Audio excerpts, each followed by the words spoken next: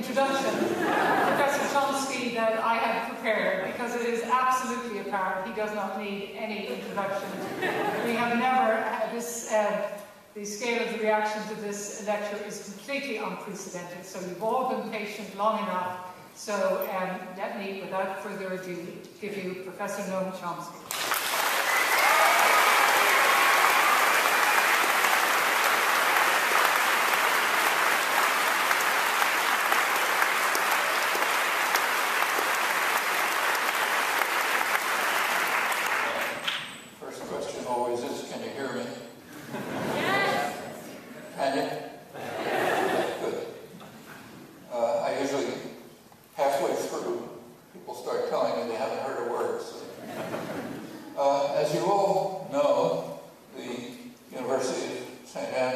was founded uh, right at about the time of the 200th anniversary of uh, one of the great events in the establishment of civil and human rights, uh, the issuance of Magna Carta.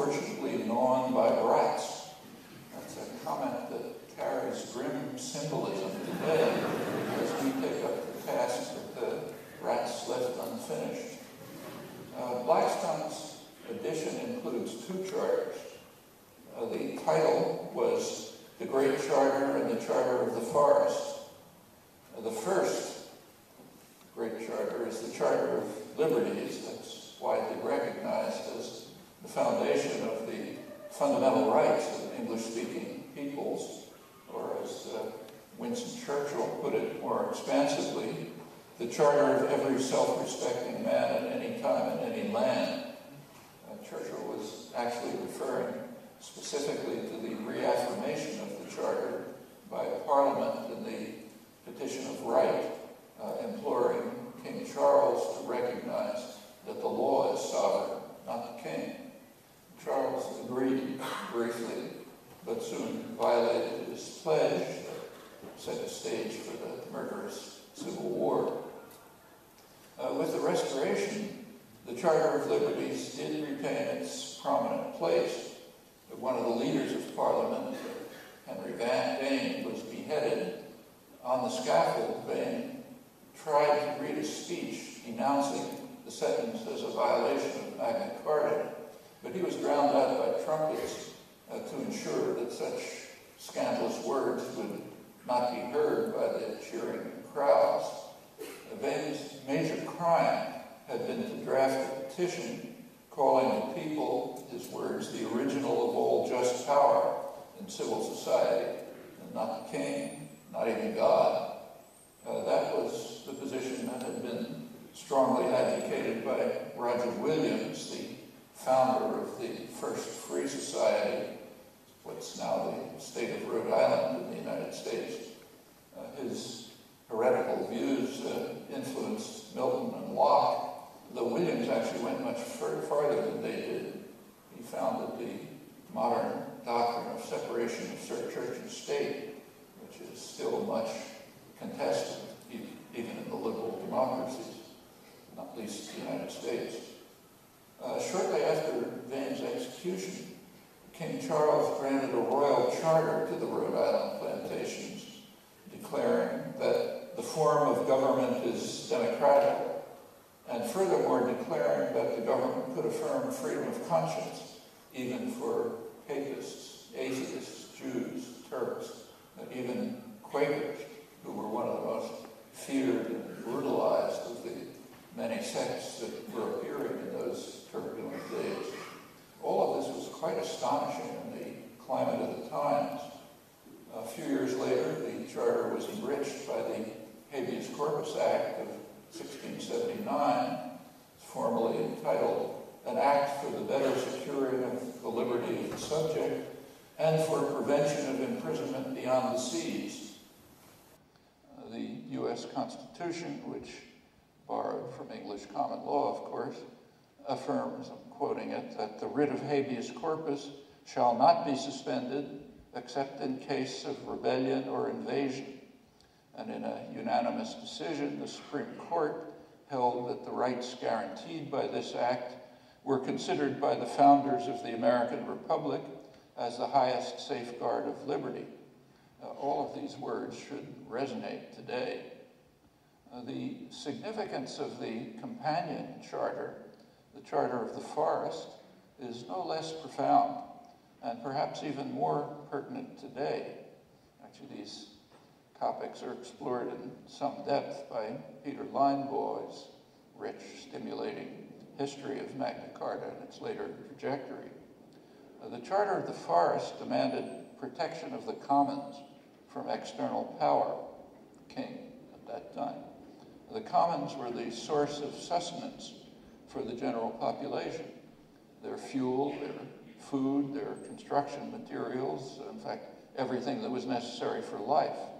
And the forest was no primitive wilderness. It was carefully developed over generations, maintained in common, its riches available to all and preserved for future generations. Those are practices found today uh, primarily in traditional societies that are under threat uh, throughout the world. Uh, the Charter of the Forests imposed limits on privatization. The Robin Hood myths uh, capture the essence of its concerns. And it's not too surprising that the popular British Robin Hood film that many of you, I'm sure, have seen was written anonymously by uh, Hollywood screenwriters who were blacklisted for leftist convictions. Uh, by the 17th century, this charter had virtually disappeared. It had fallen victim to the rise of the commodity economy and capitalist practice and morality. And with the commons no longer protected for cooperative nurturing and use, the rights of the common people were restricted to what could not be privatized. Uh, it's a category that continues to shrink to virtual invisibility. In fact, it's now down to pretty much air. Uh, in Bolivia, the attempt to privatize water was beaten back by an uprising that uh, brought the indigenous majority to power for the first time in history. It was about 10 years ago. The World Bank has just ruled a couple of days ago that the mining multinational, Pacific Rim, can proceed with its case against El Salvador for trying to preserve lands and communities from highly destructive gold mining. Uh, environmental constraints deprive the company of future profits. Those are crimes that can be punished under the rules of the investor rights regimes that are mislabeled free trade agreements. Now, this is only a tiny sample of struggles that are underway all over the world, uh, some of them with extreme violence. Uh, perhaps the most extreme is in eastern Congo, where millions of people have been killed in recent years uh, to ensure an ample supply of minerals for your cell phones and other uses, and of course, ample profits for those who are privatizing it. The rise of uh, capitalist practice and morality brought with it a radical revision of how the commons are treated and also of how they're conceived. So the prevailing view today is cap captured by an influential argument by uh, Garrett Hardin uh, that uh, freedom in the commons brings ruin to us all. That's the famous tragedy of the commons. In other words, what is not owned will be destroyed by individual avarice. Uh, there was an international counterpart to that. That was the concept of terra nullius. It was employed to uh, justify the expulsion of indigenous populations in the settler colonial societies of the Anglosphere, offshoots of England. Their extermination, as the founding fathers of the American Republic described it, uh, sometimes with remorse, uh, long after their own participation, criminal participation was passed. Uh, according to this useful doctrine, the Indians had no property rights since they were just uh, allegedly wanderers in the untamed wilderness. And the hardworking British colonists could create value where there was none by turning the wilderness to commercial use. Uh, in reality, the colonists knew better, of course. Uh, they, uh, they, there were elaborate procedures of uh, purchase and uh, ratification, both by Crown and Parliament, later annulled by force when the ungrateful creatures resisted extermination. Uh, the doctrine is often attributed to John Locke, but that's dubious.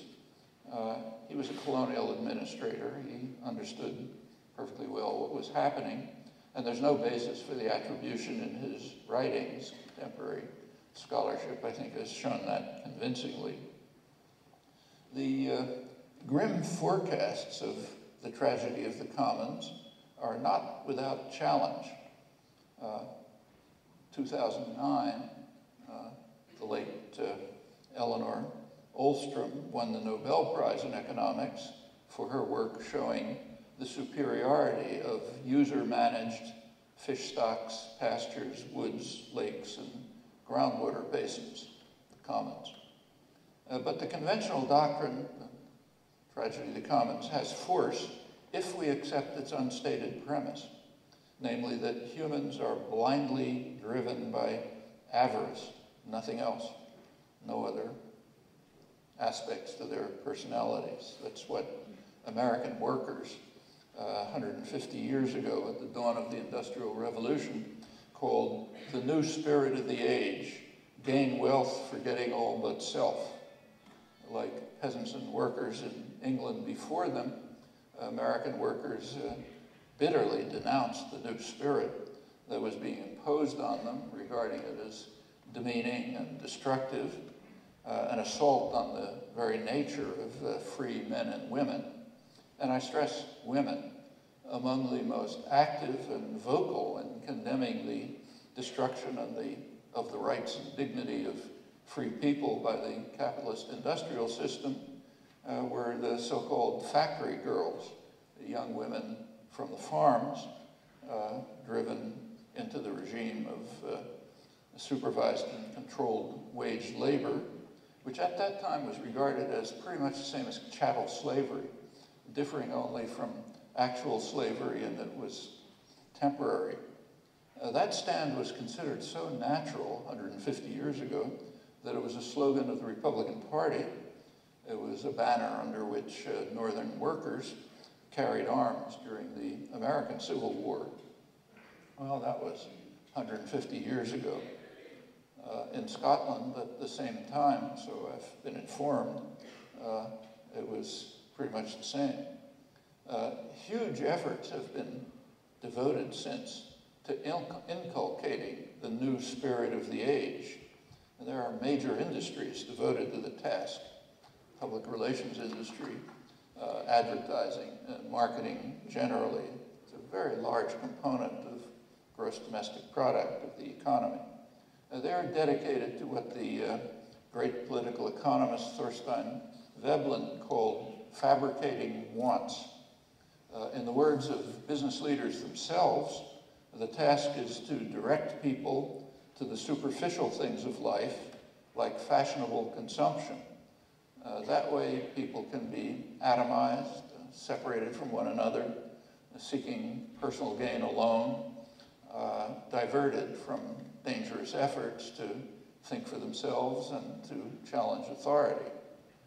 Uh, this process of shaping opinion, attitudes, and perceptions it was called uh, engineering of consent by one of the founders of the modern public relations industry in the 1920s, uh, Edward Bernays. He's a respected Woodrow Wilson, Roosevelt, Kennedy progressive, uh, much like his contemporary Walter Lippmann, the most prominent uh, public intellectual of 20th century America, also a liberal progressive. He praised what he called the manufacture of consent, which he called a new art in the practice of democracy. Uh, both of them recognized, I'm quoting them, that the public must be put in its place, marginalized and controlled uh, for their own interests, of course. They are too stupid and ignorant to be allowed to run their own affairs. So that task must be left to the intelligent minority, and they must be protected from the trampling and the roar of the bewildered herd, the ignorant and meddlesome outsiders, the rascal multitude, as they were called by their 17th century predecessors. And just like you protect a three-year-old from running into the street, can't allow freedom. Uh, the role of the general population is to be spectators, not participants in action in a properly functioning liberal democracy. And the spectators must not be allowed to see too much. Uh, President Obama, in fact, has set new standards in safeguarding this principle and protecting the spectators from trying to understand what their betters are doing. Now, he has, in fact, punished more whistleblowers than all previous presidents combined. It's a real achievement for an administration that came to office uh, promising transparency. Most famous case is WikiLeaks, in this case, as you know, with British cooperation. Well, over time, uh, societies uh, have become more free and the resort to state violence has become more constrained. And it has therefore been recognized uh, that it's urgent to devise more efficient methods of control of attitudes and opinions.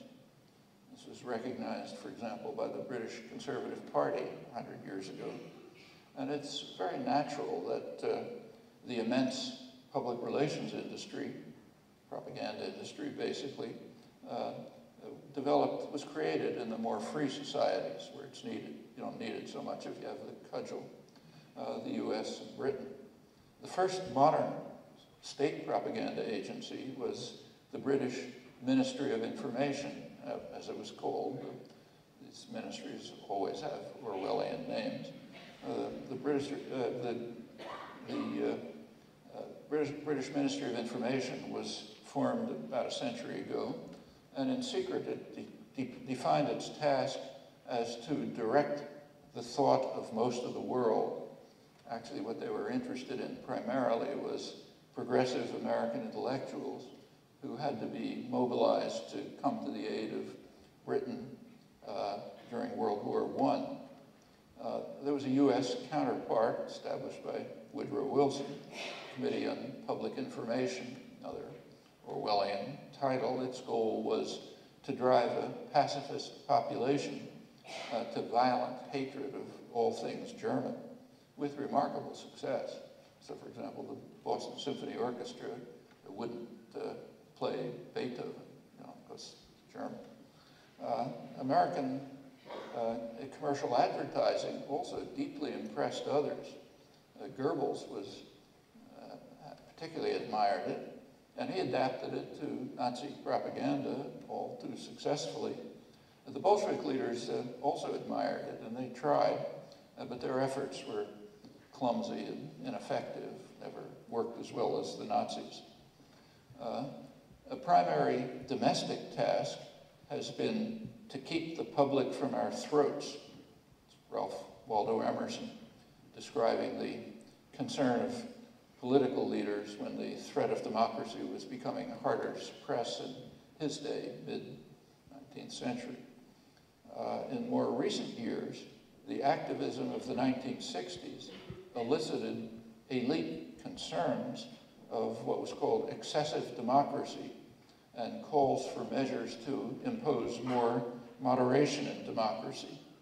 One particular concern was to uh, introduce better controls over what were called the institutions responsible for the indoctrination of the young, the schools, uh, universities, uh, churches, which were failing that essential task.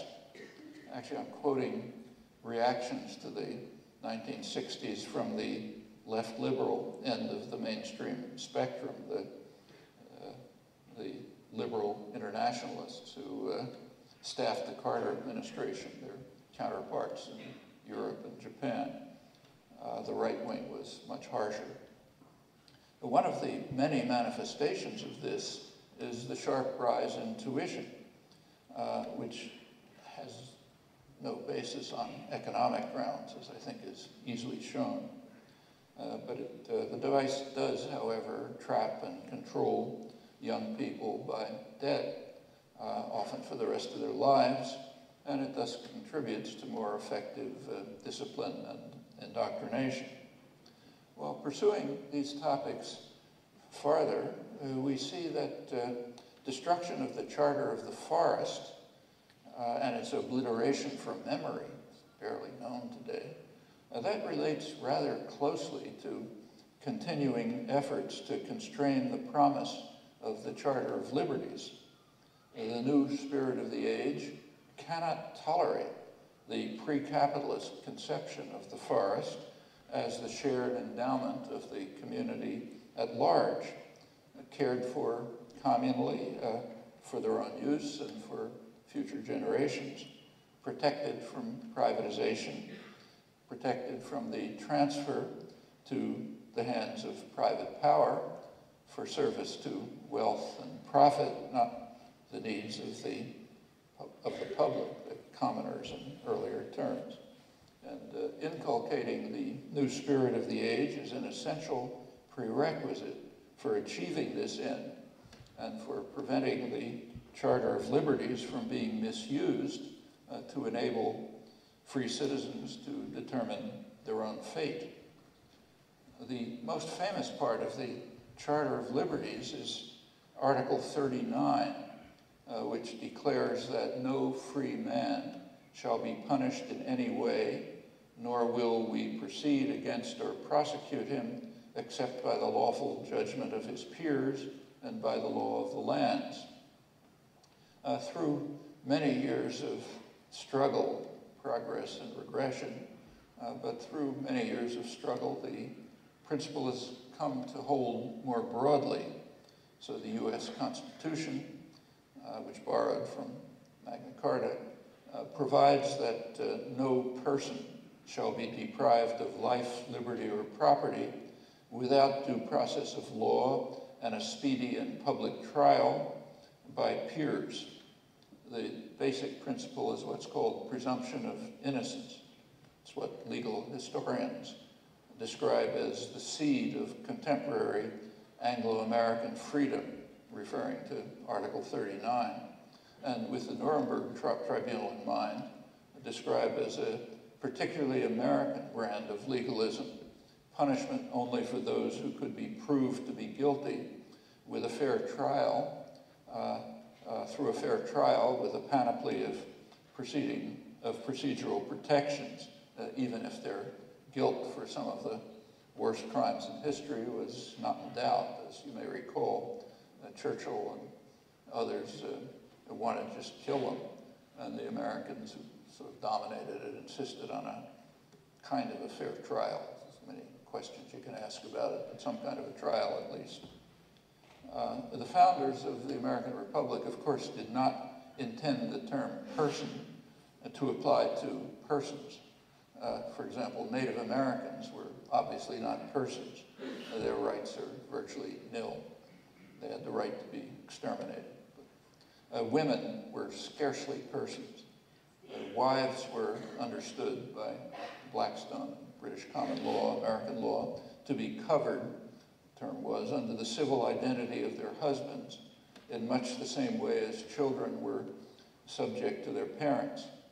Quoting Blackstone, uh, the very being or legal existence of the woman is suspended during the marriage, or at least is incorporated and consolidated into that of the husband, under whose wing, protection, and cover she performs everything. Uh, one of the arguments in the United States for not granting the vote to women was it would be unfair because the husband would get two votes, uh, his vote, the vote of his property. Uh, and in fact, in general, women were the property of uh, the, fathers and then their husbands. Those principles, incidentally, extend right to the modern period. So, for example, uh, uh until a U.S. Supreme Court decision of 1975, uh, women in the United States did not have a legal right to serve on juries. They were not peers, so charter didn't apply to them. Uh, just uh, two weeks ago, Republican opposition uh, barred was called the Fairness Paycheck Act, guaranteeing women equal pay for equal work. And in fact, it goes far beyond. persons still, the concept person hasn't properly extended yet to women. Of course, slaves were not persons. Actually, they were three-fifths human under the Constitution, so as to grant their owners greater voting rights. Uh, protection of slavery was no small concern to the founders of the American Republic. It was, in fact, one factor. Some legal historians believe the major factor uh, in leading to the American Revolution. There was a good reason for that. In uh, 17, uh, there was a case, famous case in 1772, the Somerset case, when where Lord Mansfield determined that slavery is so odious, his word, that it cannot be tolerated in England, although it continued in British possessions for many years uh, American slave owners could see the handwriting on the wall. Uh, if they, if the colonies remained under British rule, uh, that would apply to them. And you have to, one should bear in mind that uh, the slave states, including Virginia, had the greatest power and influence in the American colonies, the ones who pretty much ran it. Uh, one can easily appreciate uh, Dr. Johnson's famous quip that we hear the loudest yelps for liberty among the drivers of Negroes. Uh, Post-Civil War amendments extended the concept person to African Americans, ending slavery in theory, not in reality. Now, there was a decade of relative freedom, but after that, a condition akin to slavery was reintroduced by a North-South compact which permitted effective criminalization of uh, black life. So, for example, if a black man was found standing on a street corner, he could be accused of vagrancy. Uh, if somebody said he's looking the wrong way at a white woman, he could be accused of uh, attempted rape. Uh, and once they were in prison, they had very few chances of ever escaping uh, the system of uh, slavery by another name. It's the term used by Wall Street Journal Bureau Chief Douglas Blackmon in a quite arresting study, recent study of this topic, bringing to light a lot of what was known only in the corners of scholarship. Uh, this new version of the peculiar institution uh, provided much of the basis for the American Industrial Revolution. It created a perfect workforce for the steel industry, Andrew Carnegie, one of your representatives, and uh, mining, along with agricultural production and the famous chain gangs. Workforce that was docile, uh, obedient, no strikes, uh, no need for employers even to sustain their workers. It's an improvement over slavery. The system lasted in large measure until World War II. Then free labor was needed for war production. And then came the post-war boom that offered employment.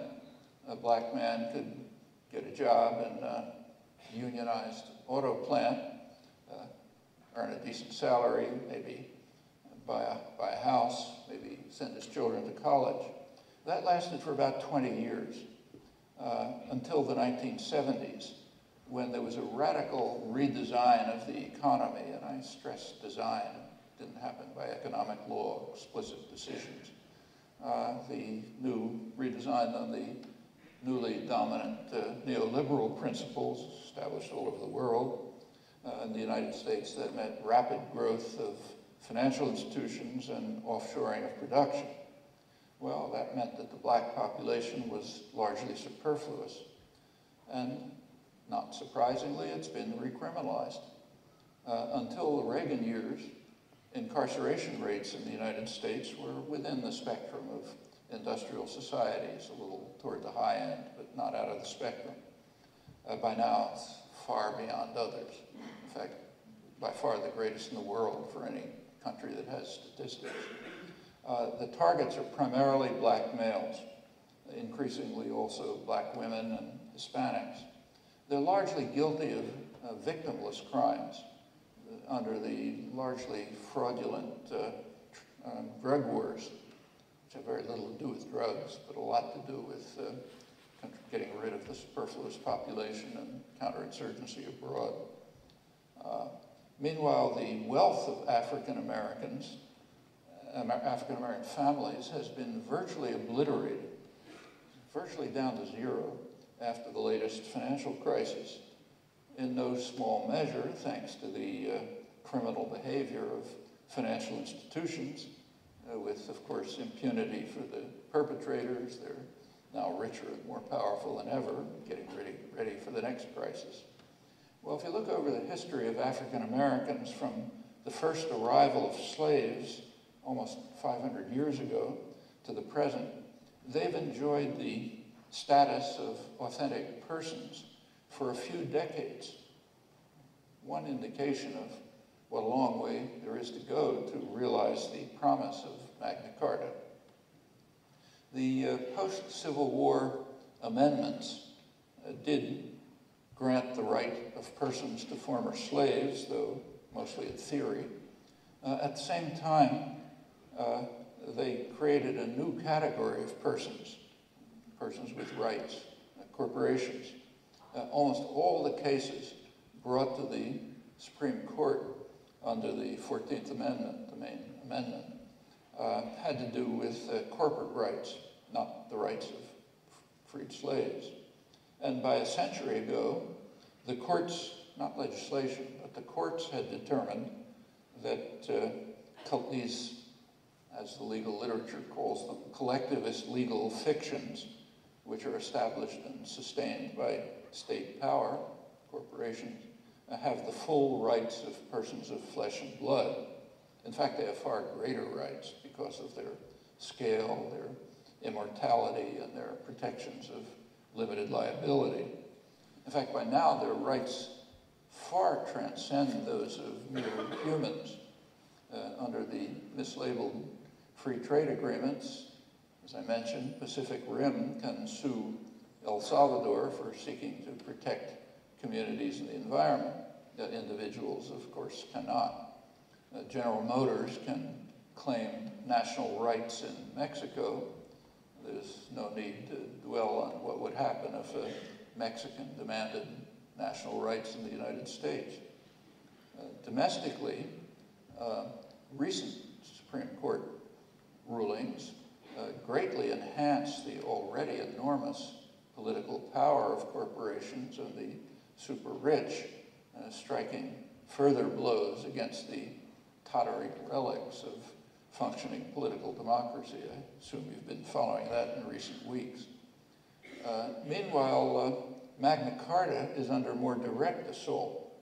So recall again the Habeas Corpus Act of 1679, which in particular barred imprisonment beyond the seas, and certainly, of course, bars the far more vicious uh, procedure of imprisonment beyond the seas for the purpose of torture, what's now more politely called rendition, as when Tony Blair rendered the Libyan dissident Abdul Hakim Belhaj, now a leader of the rebellion, rendered him to the mercies of Gaddafi than a good friend. Or when uh, U.S. authorities deported Canadian citizen uh, Maher Arar to his native Syria for imprisonment and torture, uh, later conceding that there was never any case against him, and many others, uh, very often going through the Shannon Air Base, which did lead to courageous protests in Ireland. The concept of due process has been extended under the Obama administration's uh, international assassination campaign, which is highly hailed. Uh, the Justice Department explained that the constitutional guarantee of due process, uh, tracing back to Magna Carta, is satisfied by internal deliberations within the executive branch. And the constitutional lawyer in the White House agreed with this. King John might have nodded with satisfaction. Uh, this issue arose after the murder of uh, Anwar al-Awlaki. He was accused of inciting jihad in speech and writing, and also unspecified actions. A headline in the New York Times captured the general elite reaction when he was assassinated in a drone attack, along with the usual collateral damage, another citizen sitting next to him, a couple of other people. Uh, the, uh, uh, the headline read, The West celebrates a cleric's death. That is, the deliberate murder of uh, a cleric who was saying the wrong things. Uh, there were some eyebrows lifted because he was an American citizen, and that does raise questions about due process, which are considered irrelevant when non-citizens are murdered at the whim of the executive. Uh, and they're irrelevant for citizens too uh, under Obama administration legal innovations. Well, what about presumption of innocence? That's also been given a new and useful interpretation. Quoting the New York Times from the Justice Department, uh, Mr. Obama embraced a disputed method for counting civilian casualties that did little to box him in. It in effect counts all military-age males in a strike zone as combatants, according to several administration officials, unless there is explicit intelligence posthumously proving them innocent. So in other words, post-assassination determination of innocence maintains the sacred principle of presumption of innocence. Uh, would be perhaps ungracious to recall the Geneva Conventions, the foundation of modern humanitarian international law. Uh, they bar the carrying out of, of executions without previous judgment pronounced by a regularly constituted court, affording all the judicial guarantees which are recognized as indispensable by civilized peoples, they may be. Uh, the most recent case, the most famous recent case of executive assassination was, of course, Osama bin Laden. He was murdered after he was apprehended by 79 naval SEALs, you know, super special forces, defenseless, uh, accompanied only by his wife. Uh, his body was reportedly dumped at sea without autopsy. Well, whatever one thinks of him, he was a suspect. And in fact, nothing more than that. Uh, even the FBI agreed. They said they had only suspicions that he was responsible for 9-11. In this case, celebration was overwhelming. Uh, you really had to look hard to find a question. There were a few on the fringes, a few questions about the bland rejection of the principle of presumption of innocence, that particularly when trial was hardly impossible, straightforward, in fact. Uh, these criticisms were met with very harsh condemnations, and they're pretty interesting. The most interesting one that I saw was by a respected uh, young uh, left liberal uh, political commentator, Matthew Yglesias. He explained, I'm quoting him, that one of the main functions of the international institutional order is precisely to legitimate the use of deadly military force by Western powers. Okay? So in his words, it's amazingly naive to suggest that the United States should obey international law or other conditions that we righteously demand of the weak.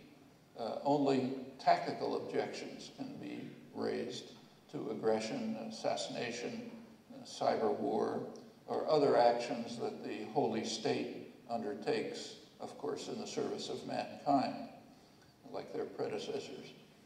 Uh, if the traditional victims see the matter somewhat differently, that merely reveals their moral and intellectual backwardness. And the occasional Western critic who fails to comprehend these fundamental truths can be dismissed as silly. Yglesias explains, uh, incidentally, he's referring specifically to me, and I cheerfully confess my guilt. Uh, perhaps the most striking assault on the foundations of traditional liberties is a case that's little known and virtually undiscussed.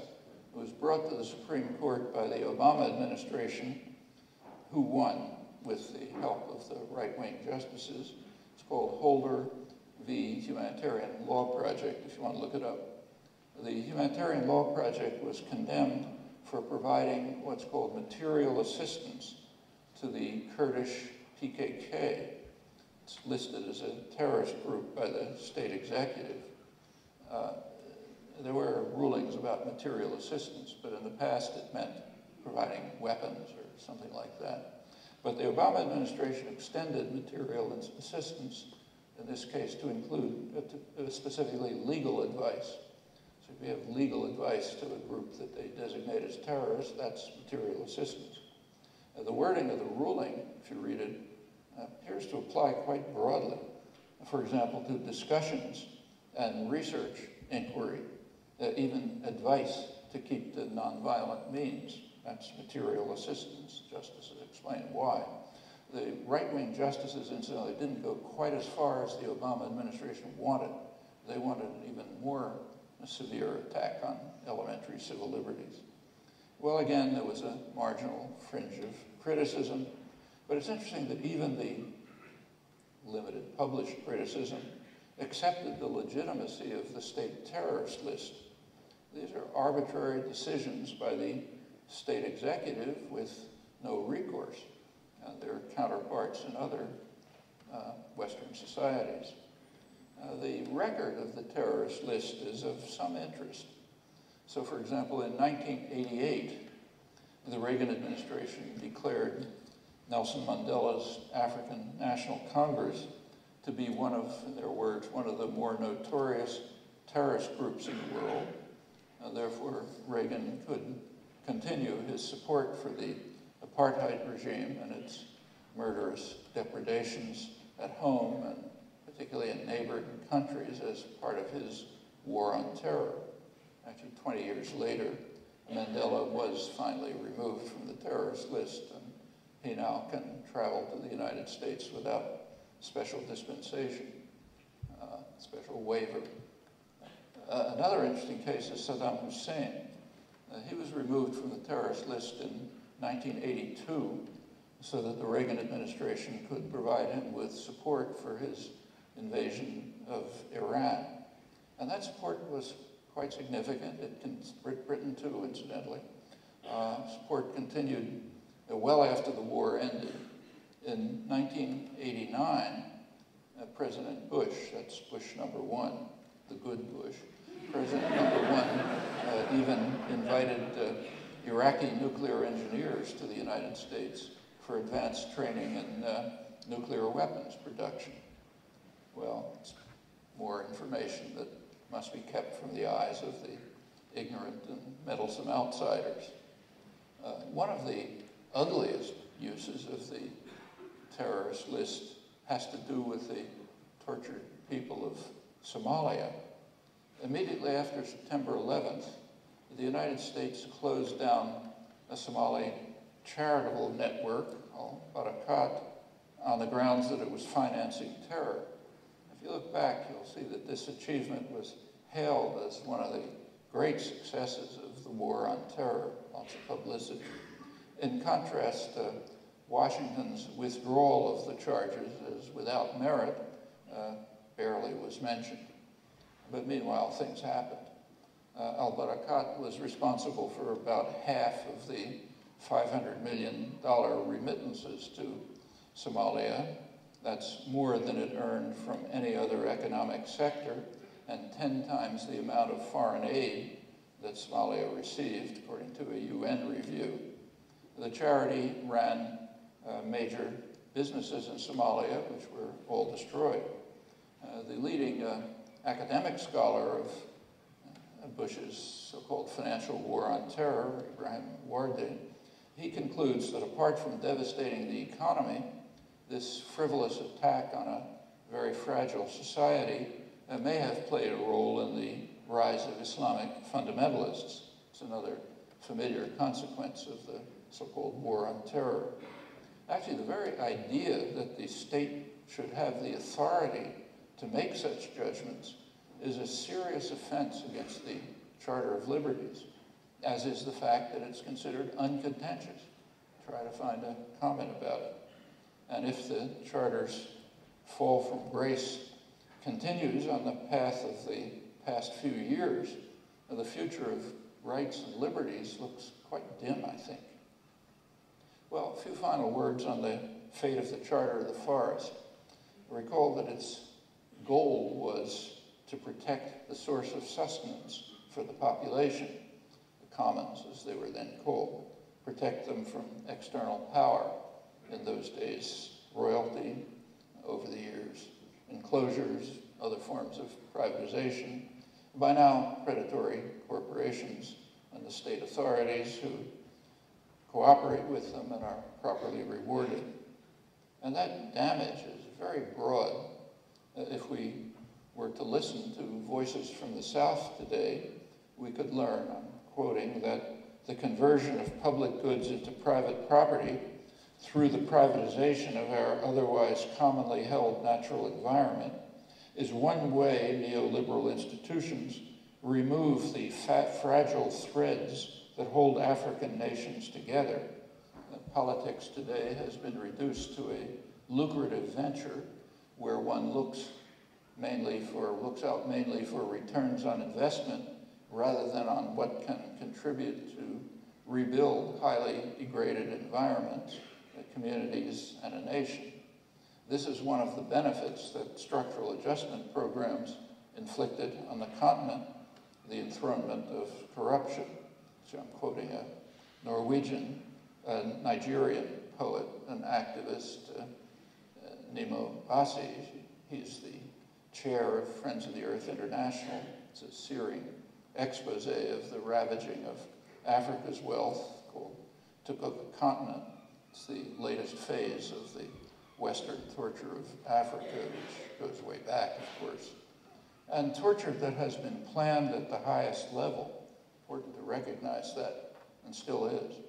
So at the end of World War II, the United States, of course, held a position of absolutely unprecedented global power, and not surprisingly, careful and sophisticated plans were developed about how to organize the world. Uh, each region was assigned what was called its function by State Department planners. They were headed by the distinguished uh, diplomat George Kennan. And he determined at the time that the United States had no special interest in Africa. And so therefore, uh, he recommended that Africa should be turned over to Europe to exploit, his word, for the reconstruction of Europe. Uh, in the light of history, uh, one might have imagined a different relation between uh, Europe and Africa, but there's no trace in the internal record that any of that kind was ever considered. Well, more recently, the United States has recognized that it too must join in the game of exploiting Africa, joined by other new entries, among them China, which is busy at work compiling one of the worst records in destruction of the environment and oppression of its hapless victims. It should be unnecessary to dwell on the extreme dangers posed by one central element of the predatory obsessions, that are producing calamities all over the world with the attack on the commons, namely the reliance on fossil fuels. Now that courts global disaster, and perhaps in the not too distant future. Uh, details can be debated, but there's very little serious doubt that the problems are serious, if not awesome, and that the longer we delay in addressing them, the more awful will be the legacy left to generations to come. There are some efforts to face reality, but they are much too meager. Uh, tomorrow, the Rio Plus 20 conference opens uh, with meager aspirations and even lesser expectations. Uh, meanwhile, power concentrations are charging in the opposite direction, led by the richest and most powerful country in world history. Uh, congressional Republicans are now dismantling the limited environmental protections that were initiated by Richard Nixon, uh, who would be something of a dangerous radical in today's political scene. Uh, the major business lobbies quite publicly announce their propaganda campaigns to convince the public that there's no need for undue concern, and with some effect, as polls show. The media cooperate by not even reporting the increasingly dire forecasts of uh, international agencies and even of the U.S. Department of Energy. Uh, the standard media presentation is a debate between alarmists and skeptics. Uh, alarmists are virtually all qualified scientists. Uh, uh skeptics are a few holdouts. Interestingly, not part of the debate is a very large number of experts, uh, far beyond the skeptics, includes, as it happens, the climate change program at my own university, MIT, among others, now, these skeptics uh, criticize the scientific consensus because it's too conservative and too cautious, and they argue that the truth is much more dire. Uh, not surprisingly, the public is confused. Uh, in his uh, State of the Union speech in January, President Obama uh, hailed the bright prospects of a century of energy self-sufficiency, thanks to new technologies that permit extractions of hydrocarbons from Canadian tar sands, uh, shale, uh, other previously inaccessible sources. And others agree. The London Financial Times forecasts a century of energy dependence, independence for the United States, including, they say, a century of global hegemony. The report does mention uh, the destructive local impact of the new methods, the poison water supplies and so on. But unasked in these optimistic forecasts is a very simple question. What kind of a world is going to survive the rapacious onslaught of another century of rapid exploitation of fossil fuels? Uh, in the lead in confronting the crisis throughout the world are indigenous communities, uh, those who have always upheld the Charter of the Forests just as the commoners did in England in the 13th century. The strongest stand uh, has been taken by the one country in the world that they govern, Bolivia, poorest country in South America, and for centuries a victim of uh, Western destruction of the rich resources of what had been one of the most advanced of the developed societies in the hemisphere pre-Columbus, quite developed. Uh, after the ignominious collapse of the Copenhagen Global Climate Change Summit in 2009, Bolivia organized a People's Summit with 35,000 participants from 140 countries, uh, not just representatives of governments as at Copenhagen, but also civil society and activists. Uh, they produced uh, what they called a people's agreement, which called for a very sharp reduction in emissions and a universal declaration on the rights of Mother Earth, as they called it. In fact, that's a key demand of indigenous uh, societies all throughout the world.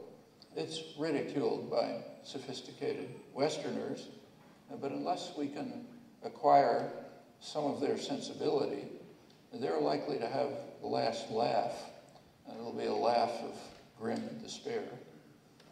Thanks.